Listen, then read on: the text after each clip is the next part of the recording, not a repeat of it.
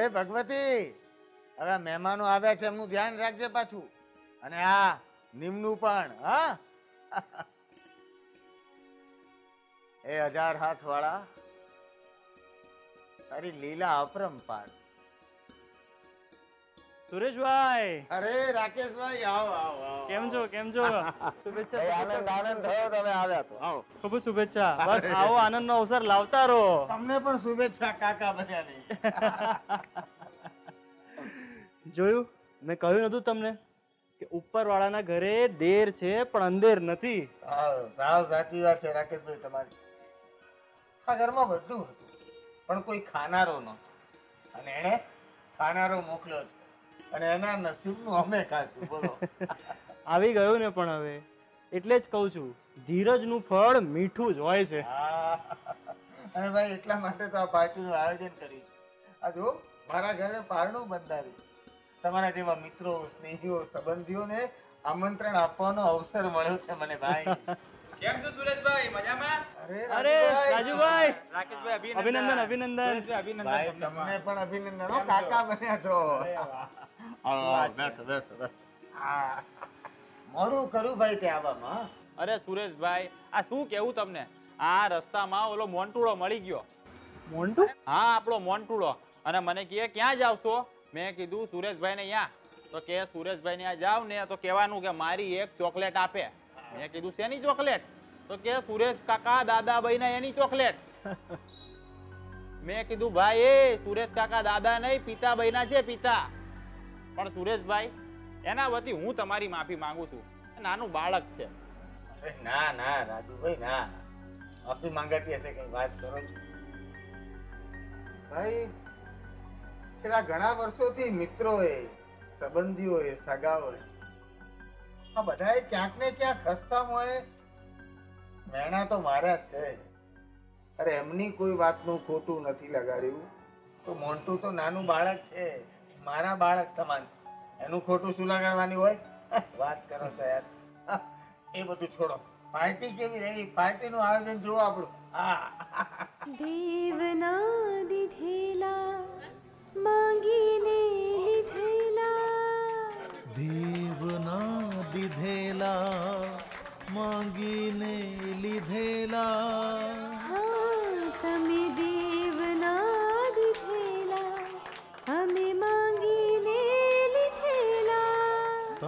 બધી કૃપા છે ને એ આ હજાર હાથ વાળાની છે.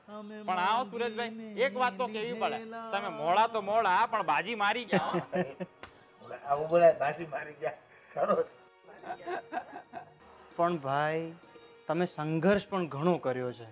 અલા ભાઈ આ બધું એ સંઘર્ષનું તો પરિણામ છે. હા હા રાજુભાઈ હા. સાવ સાચી વાત છે તમારી. ઘણા વર્ષો વીતી ગયા. દિવસો ગયા, મહિનાઓ ગયા, વર્ષો ગયા.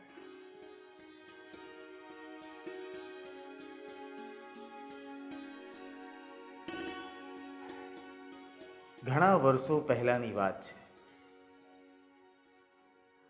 આજથી લગભગ અઠ્યાવીસ વર્ષ પહેલા, કચ્છના એક નાનકડા ગામડામાં હું અને મારો પરિવાર રહેતો હતો. મારા બાપુજીને કરિયાણાનો બિઝનેસ ભાઈ, ભાભી, એમનું બાળક, બા બાપુજી. સરસ મજાનો પરિવાર. અને હા, મારી પત્ની પણ. સાચું કહું ને તો મને પહેલેથી કંઈક નવું કરવાની ઈચ્છા હતી. અને એટલે મેં બાપુજીને વાત કરી કે મારે પોતાનો બિઝનેસ શરૂ કરવો છે. બાપુજી આ વાત સાંભળીને રાજી થઈ ગયા. અને હું હું મારા સપનાને પૂરા કરવા માટે સપનાના શહેર આણંદમાં આવ્યો, મારી પત્નીની સાથે.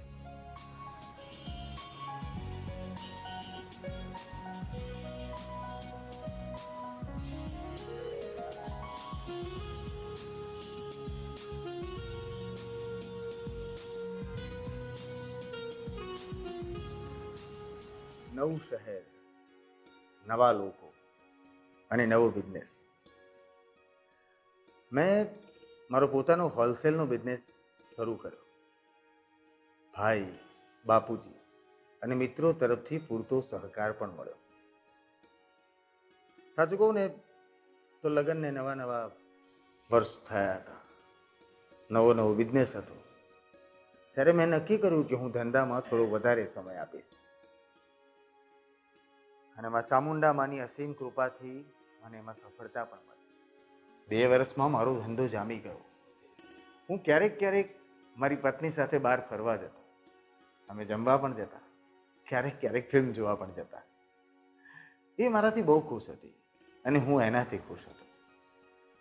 પણ સાચું કહું તો લગ્નના થોડાક વર્ષો પછી મને સમજાયું કે ધંધો સેટ કરવામાં અમે બાળક બાળકનો વિચાર જ નથી કર્યો મને સફળતા જે મળી છે, એનો શ્રેય હું મારી પત્નીને આપું છું. અને મારી પત્ની પણ એકદમ કહ્યા કરી. મારો કહેવો બોલતી રહે એવી મારી પત્ની. આજે તો થાક્યા ભાઈ.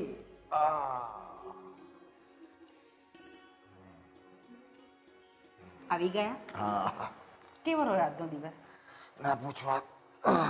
આજે બહુ થાકી ગયા હોય એવું લાગે છે મને.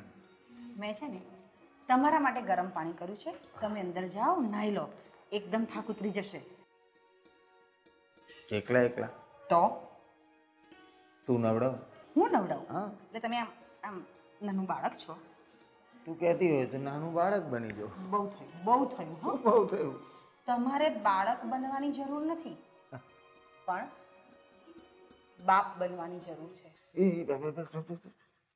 શું શું કીધું તે? હું એમ બોલી કે તમારે બાળક થવાની જરૂર નથી. પણ પણ તમારે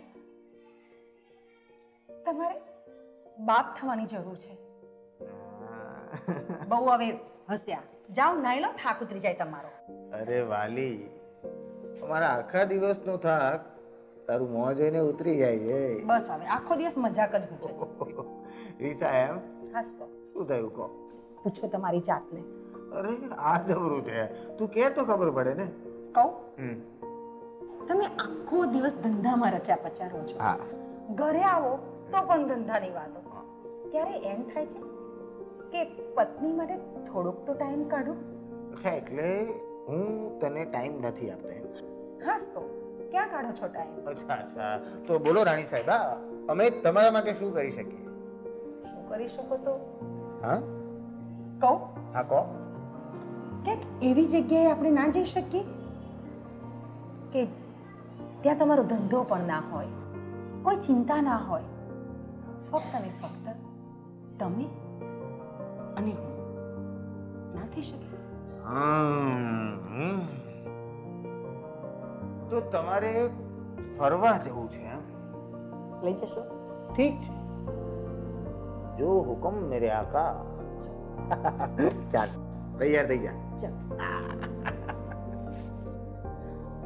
જમવાનું પણ બારે જ જમીશું આજે. હા, હું નહીં લઉં છું તું અંદર જા. ક્યાં છે મારો અંશ ઈશ્વર? ક્યાં છે? આજે બપોરે એક વેપારીનો ફોન આવ્યો કે તાત્કાલિક માલ પહોંચાડવાનો. મેં કીધું આમ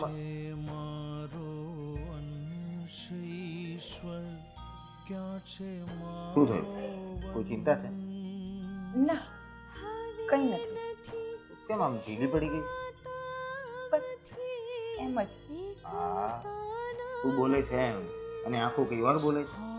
શું વાત છે બોલ તો. ખરેખર કશું નથી. તને મારા શું સમના આપો તમે. તો બોલ. એક વાત કહો. મને એમ થાય છે કે આપણે મા બાપ નથી બની શકતા. તો એમાં એમાં ક્યાંક મારો વાંક તો નહીં હોય. અરે ગાંડી અરે ખોટી ચિંતા કરે છે માતાજી પર ભરોસો રાખ. સૌ સારા બાના થશે? તમને તો મારી બધી જ વાતો ખોટી લાગે છે. જાઓ. આ તને બહુ સારી રીતે આવડે છે. જો રીસાવાની કોઈ કોમ્પિટિશન થાય ને તો તારો પહેલો નંબર આવે. શું વિચારે છે ખોટું? જો, આવતીકાલે રિપોર્ટ આવવાનું છે. અને ધાર કે રિપોર્ટમાં કંઈ આવ્યું ને, તો પણ જરાય ચિંતા ના કર. તું મને ગમે છે. હસવે હસો હસવે હો. હસ. હે? આવતી રહ્યા.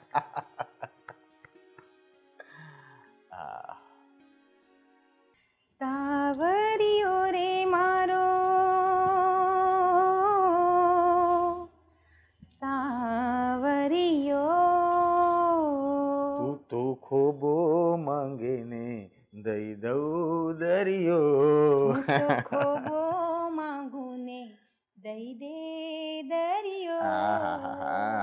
મને લાગે છે આજે વહેલા પરવારી ગયા છો. હા. હા. વાલી. બોલો ને. હું શું કહું છું કે આપણા લગ્નને ત્રણ વર્ષ થઈ ગયા છે. એટલે ઘણા લોકો આમ પ્રેશર કરે છે. એટલે? અને ઘણા બહુ નજીક ના હોય ને એ પ્રેમથી પૂછે છે કે કોઈ સારા સમાચાર? એટલે બાળક માટે કંઈ વિચાર્યું કે નહીં તો શું કેવું છે તારું એમ એક વાત કહું. તમે એમ કહો છો ને કે બધા પૂછે છે બધા પ્રેશર કરે છે. તમને એમાં કંઈ ખોટું એવું લાગે છે ખરું? ના ના એ ખોટું નથી કહેતા વાત એ નથી પણ મારે તને તો પૂછવું પડે ને. પણ એમાં મને શું કામ પૂછવું પડે? લે. અરે ભાઈ બધી જવાબદારી તારે વધવાની તારે બધું સહન કરવાનું સાચવવાનું તો તને જ પૂછવું પડે ને? પણ પણ એ તો જ્યારે બાળક આવશે ને ત્યારે બધું થઈ પડશે. એટલે તું એના માટે તૈયાર છે એમ ને? એ શરમાઈ પાછી શરમાઈ હે? આવતી રે વાલી. અમને? અમને અમારા સગા સંબંધીઓ અને મિત્રોએ સમજાવ્યું. કે તમે કોઈ લેડી ડૉક્ટરનો સંપર્ક કરો?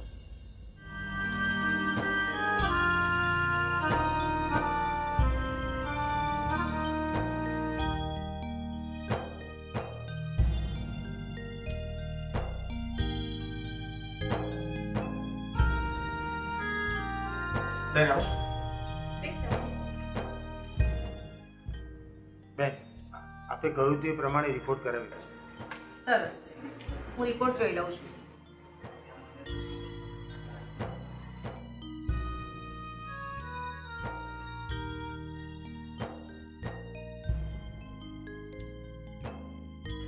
ભગવતીબેન, તમારો રિપોર્ટ તો નોર્મલ છે. છતાં હું થોડીક દવાઓ લખી આપું છું.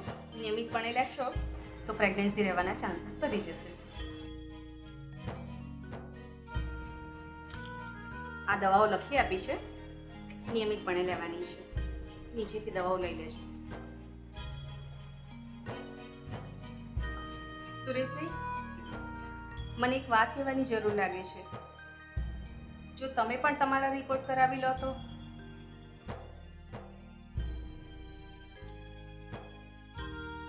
મારા સેના રિપોર્ટ ફર્ટિલિટીના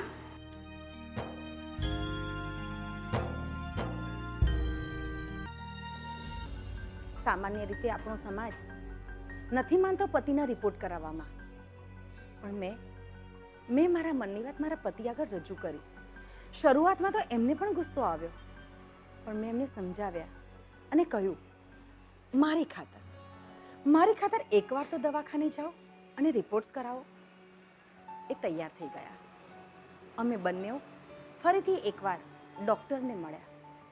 ડૉક્ટરે અમને સમજાવ્યું કે પૌરુષત્વ અને પિતા બનવું. બંને ખૂબ અલગ છે.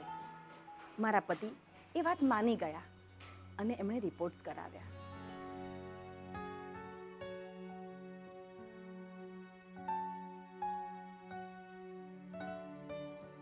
સુરેશભાઈ, તમને કદાચ એવું થતું હશે કે આપણે આ રિપોર્ટ તમારા શા માટે કરાવ્યા? બરાબર? પરંતુ અહીંયા હું તમને કશુંક સમજાવવા માંગુ છું. કે આ રિપોર્ટ આપણે કેમ કર્યા? બે વાત છે. એક, પુરુષની સંભોગ કરવાની ક્ષમતા અને બીજું, પુરુષના પિતા બનવાની ક્ષમતા. આ બંને વચ્ચે સંબંધ તો છે, પરંતુ જેવો આપણે ધારીએ છીએ અથવા તો જે સામાન્ય લોકો ધારતા હોય છે, એવો સંબંધ નથી. પુરુષ સંભોગ કરી શકે એટલે પુરુષ પિતા બનવા યોગ્ય જ છે એ વાત સાબિત નથી થઈ જતી. જી. સંભોગ કર્યા પછી જે વીર્યસ્ખલન થાય છે. ઘણી વખત લોકો એવું ધારતા હોય છે કે મારે તો વીર્યસ્ખલન થાય છે, તો મારામાં કોઈ ખામી નથી. એવું જરૂરી નથી. વીર્યની અંદર પણ એના ઘટક તત્વો છે. અને એ ઘટક તત્વોની અંદર મુખ્યત્વે જે છે, એ છે શુક્રાણુ. જે પુરુષના શુક્રપિંડમાં પેદા થાય અને એ બાળક બનવા માટે સ્ત્રીના અંડકોષની સાથે મિલન થાય, બંને ફલન કરે અને એમાંથી બાળકની ઉત્પત્તિ થાય.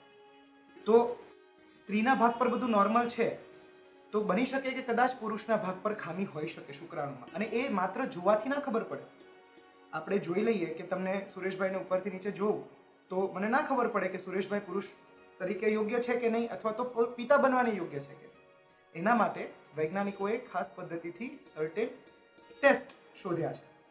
અને આ વીર્યના ટેસ્ટ કરીએ, એટલે એની અંદર જે શુક્રાણુની ગતિ, એનો આકાર, એની સંખ્યા એ કેટલી છે એ જાણી શકાય અને એના આધારે નક્કી કરી શકાય કે કોઈ પુરુષ પિતા બનવા યોગ્ય છે કે નથી. અને આપણે આપણો એ તમારો એ ટેસ્ટ કરાવ્યો છે. અને મને તમને જણાવતા ખૂબ આનંદ થાય છે કે તમારો આ ટેસ્ટ નોર્મલ આવ્યો છે અને તમે પિતા બનવાને યોગ્ય છો. જોયું? હજી કરાવો છે બીજા રિપોર્ટ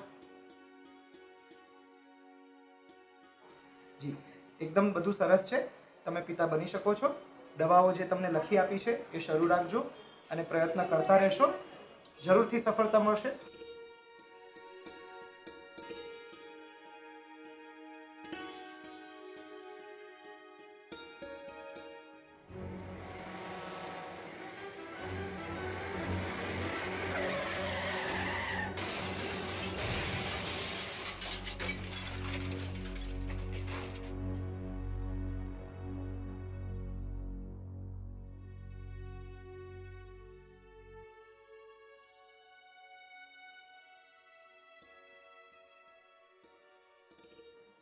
વાહ ગોમતી વાહ ગોમતી ખાધું? માણકી? ઓ માણકી સાબર આ તને ફરવા લઈ જઈશ, હો. રિસાઈ ગઈ છું. રિસાવાનું નહીં. આજે આપણે ગામમાં ફરવા જઈશું, હો, માણકી. ચોક્કસ તને લઈ જઈશ મારી વાલુડી, આ હા હા હા. હા હા. વાહ. શું આ મારો પરિવાર છે? આ મારા જનાવરો? જનાવર નથી, પણ મારા સંતાન જેવા લાગે છે. તમને વાહ વાહ વાહ વાહ. તમે મારી વાત સાંભળી હો. તમારી માયા મને અને મારી માયા તમને. તમે તો મારો પરિવાર છો, મારું કુટુંબ છો, અને આ વાડી બસ. તમારો અવાજ મને ગમે, સાંભળવો ગમે, હો. કેટલા વાલા અને પ્યારા છો.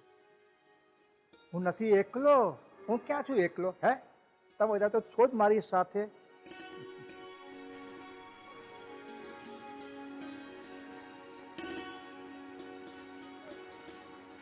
બાપુજી. કાકા, ભગવાનને ગમ્યું ખરું. ક્યાં સુધી આમનામ ગામડામાં એકલા રહેશો? તમે ચાલો અમારી સાથે શહેરમાં. અમે તમને લેવા આવ્યા છીએ. બાપુજી, અહીંયા તમે એકલા પડી જશો બેટા, હું ક્યાં એકલો છું? આ મારો પરિવાર છે, આ વાડી છે. આહા, આ ઝાડ, ફળ, ફૂલ, આહા. અને આખું ગામ મારી સાથે છે. હું એકલો નથી દીકરા.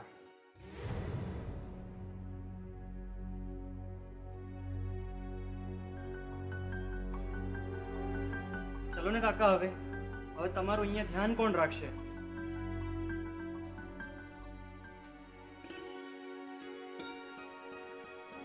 બેટા, મારી કોઈ ચિંતા ના કરતા. આ ગાય, આ પશુ, આ બધા મારો પરિવાર છે. અને આ ખેતર, આ વાડી અને આખું ગામ મારી સાથે છે. દીકરા, તું એકલો નથી. બધા મારી સાથે છો. અને તમે પણ મારી સાથે જ છો ને. તમને ખાવા પીવાની તકલીફ પડે. નહીં દીકરા નહીં દીકરા મને જમવાની કોઈ તકલીફ જ નથી. જાતે બનાવું છું. એ રોટલા બનાવું જાતે ખાઉં છું. કોઈ ટેન્શન નહીં. બાકી આરામની જિંદગી છે મારે તો હા. લીલા લેર કાકા અમે તમને શહેર લઈ જવા માટે આગ્રહ કરીએ છીએ. ચાલો અમારી સાથે. દીકરા મને શહેરમાં નહીં ફાવે. આ વતન છે.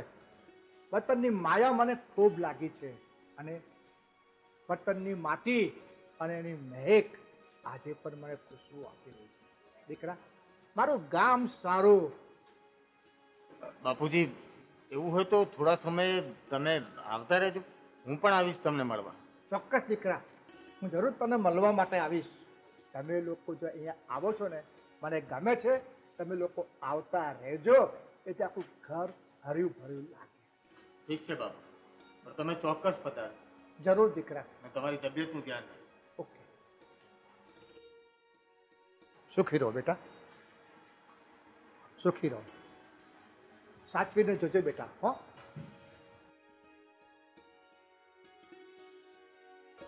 સમય વીતતો ગયો.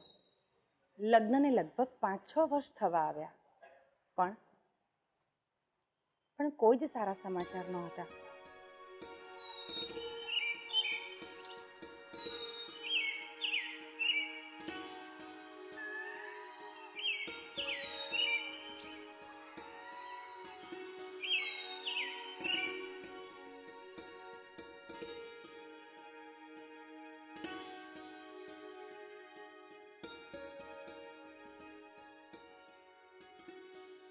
શું પધાર્યા ભાઈ?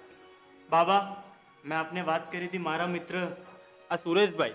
એમને વર્ષોથી સંતાન નથી, માટે તમારા આશીર્વાદ લેવા આવ્યા છે. અત્રે પધારો.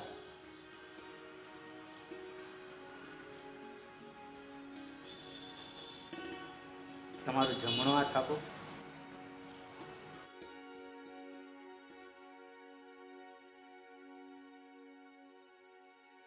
અત્રે પધારો.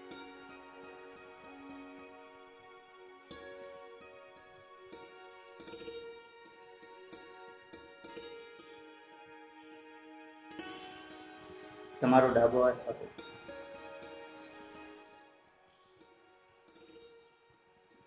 વિરાજ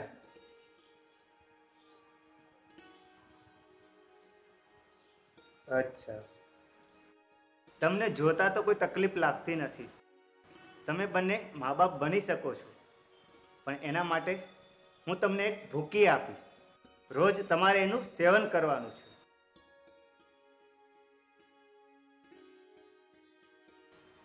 લો રોજ આનું સેવન કરજો તમને સંતાન પ્રાપ્તિ થશે. આભાર મહારાજ. મહારાજ હું મારી શક્તિ મુજબ ધર્મદાન કરવા ઈચ્છું છું. તો તમે કરી શકો છો. હું તો સંસાર ત્યાગી માણસ છું. તમને જે યથાશક્તિ પ્રમાણે તમે આ દાન પેટીમાં નાખી શકો છો. એવી આપની આજ્ઞા મહારાજ.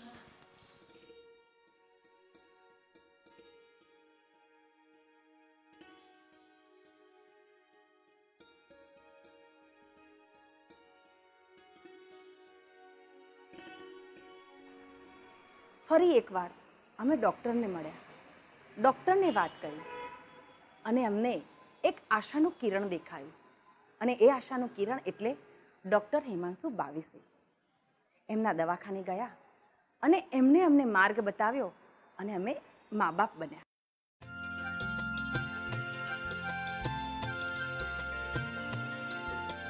હે હે હે hey. La la la la la la. La la la la la la. La la la la.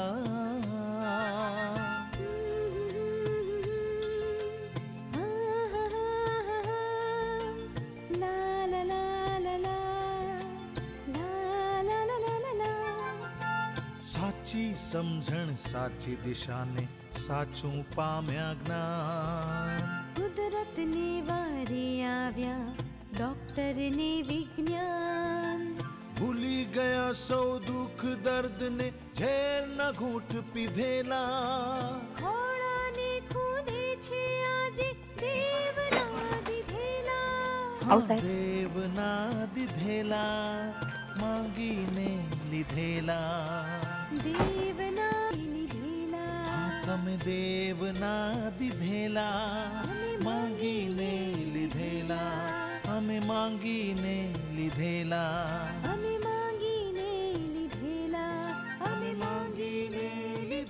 જો, આમ તો તમે થોડાક મોડા છો ઉંમર વધારે છે પણ ચિંતાનું કંઈ કારણ નથી. મેનોપોઝ એટલે કે માસિક બંધ થઈ જાય પછી પણ બાળકો થાય જ છે અને એ પણ સરળતાથી થાય છે. કારણ એવું છે કે માસિક આવવા માટે શરીરમાં જે હોર્મોન્સની જરૂર હોય એ હોર્મોન્સની માત્રા ઘટી જતી હોય છે. એ હોર્મોન્સ આપણે બહારથી આપી શકીએ છીએ. એ બહારથી આપીએ એટલે ફરી પાછું ગર્ભાશય અને એની અંદરનું પડ એન્ડોમેટ્રિયમ તાજુમાજુ થઈ જતું હોય છે, માસિક પણ ચાલુ થઈ જતું હોય છે અને ગર્ભધારણ પણ થતું હોય છે. વધતા વધારામાં બે નાની નાની ગાંઠ છે ગર્ભાશયમાં, એને ફાઇબ્રોઇડ કહેવાય. પણ ફોર્ચ્યુનેટલી એ આપણને બહુ નડતી નથી. નાની છે, એનું લોકેશન એટલે એની જગ્યા પણ એવી છે કે જે આપણને સીધે સીધું ગર્ભધારણમાં નડે તેમ નથી. એટલે બહુ ચિંતા નથી. થશે. સાચું કહું ને તો અમારી આશાનું કિરણ આપ જ છો. આપ જેમ કહેશો, એમ અમે કરવા તૈયાર છીએ. આશા વિજ્ઞાન છે. તમારી મહેનત મારી મહેનત. તમારું નસીબ મારું નસીબ. પણ એ બધાનું પરિણામ તો અંતે ટેકનોલોજી અને વિજ્ઞાન આપશે. અત્યારનું વિજ્ઞાન એટલું આગળ વધેલું છે કે તમારા જેવા અસંખ્ય યુગલોને સંતાન પ્રાપ્તિ થઈ ચૂકી છે. મેં જે પ્રમાણે તમારો કેસનો અભ્યાસ કર્યો છે એ પ્રમાણે તમને પણ થાય એવી પૂરી આશા છે. આપણે મહેનત કરવાની છે. સફળતા મળશે છે એક સમય હતો કે મને જિંદગી જીવવાની જ ઈચ્છા નહોતી થતી. પણ પણ મારા જીવનમાં મારો નીવ આવ્યો. મારા નીવે મારું જીવન બદલી નાખ્યું. મારા જીવનની અંદર આનંદ અને ઉલ્લાસ ભરી દીધો. બસ, હવે તો હું અને મારો નીવ. હું ખૂબ ખૂબ આભારી છું. મારા મિત્રોની, મારા સગાવાલાની, મારા ડૉક્ટર્સની કે જેમણે જેમણે મને જીવનના જે કપરા સમયમાં મને ખૂબ સાથ અને સહકાર આપ્યો છે. ડૉક્ટર હેમાંશુભાઈ, ડૉક્ટર ફાલ્ગુનીબેન બાકી ના ખૂબ જ સાથ સહકાર અને ખૂબ જ સારી નજર. થી મારા ઘરે આ આ શુભ દિવસ. એમને છે. મને ખૂબ આનંદમય જીવન મારું મળ્યું છે. અને મારી આ ઉંમરે પરમાત્માએ અને સાહેબના સાહેબની ખૂબ જ મીઠી નજર અને ખૂબ જ મહેનત એમની. બે સુમાર મહેનત છે. મારા ઘરે આજે આ દિવસ આવ્યો દરેક પરિવારને મારે કહેવું કે જેને ઘરે આવી તકલીફ હોય એમણે અવશ્ય ડૉક્ટર સાહેબને મળી અને એમની શંકાનું સમાધાન અવશ્ય જ કરાવવું જોઈએ. ડૉક્ટર સાહેબ ખૂબ જ પ્રેમાળ, રોગ મટે, ના મટે એ પછી પણ એમનો સ્વભાવ ખૂબ સારો છે. સ્ટાફનો સ્વભાવ ખૂબ સારો છે. એમને અવશ્ય મળવું જોઈએ એવી મારી દરેક વ્યક્તિઓને પ્રાર્થના. દેવના દીધેલા માંગીને દેવના દીધેલા માંગીને લીધેલા. બે હજાર ચારમાં એ યુગલ અમારી પાસે પણ આવ્યા પણ સારવાર કરવાનો નિર્ણય ન લઈ શક્યા. અને છેક બે હજાર ચૌદમાં એટલે કે દસ વર્ષ પછી એમણે સારવાર કરાવી. પણ આ જ સારવાર જો દસ વર્ષ પહેલાં થઈ હોત તો તમે જે બાળકને જોયું એ કદાચ દસ વર્ષ મોટું પણ હોત. બીજી વસ્તુ એમને ગર્ભાશયમાં બે નાની નાની ગાંઠ હતી. ગર્ભાશયમાં થતી ફાઇબ્રોઇડની ગાંઠ is one of the most common બહુ જ કોમન છે. પણ સામાન્ય રીતે જેમ જેમ ઉંમર વધે તેમ તેમ થતી હોય છે. એટલે નાની ઉંમરની વાત કરીએ તો એ શક્યતા ઓછી હોય છે, મોટી ઉંમરે વધારે હોય છે. સદનસીબે ગાંઠો નાની હતી નડી નહીં અને એમનું કામ સારી રીતે પતી પણ ગયું. પણ એ નડી પણ શકે. એ જ પ્રમાણે ઉંમર સાથે અમુક બીમારીઓ પણ આવી શકે, જેમ કે બીપી છે, થાઇરોઇડ છે, ડાયાબિટીસ છે વગેરે. તો એ પાછું પ્રેગ્નન્સીની પ્રોસેસને કોમ્પ્લિકેટ કરી શકે. એટલે સદનસીબે એમને એ ના નડ્યું, એ પણ આપણા માટે સારી વાત છે. પણ જે કોઈ પણ વ્યક્તિ એવું વિચારતું હોય કે ભાઈ આટલી મોટી ઉંમરે પણ જો સરળતાથી ગર્ભધારણ થઈ ગયું તો મારી ઉંમર તો નાની છે, મને શું વાંધો છે? હું પછી કરીશ. તો એમણે વિચારવા જેવું છે કે તમે જેટલું વહેલું કરો છો, એટલા તમને ફાયદા છે. હા, તમે દેવના દીધેલા અમે માંગીને લીધેલા દેવ ના દીધેલા અમે માંગીને લીધેલા.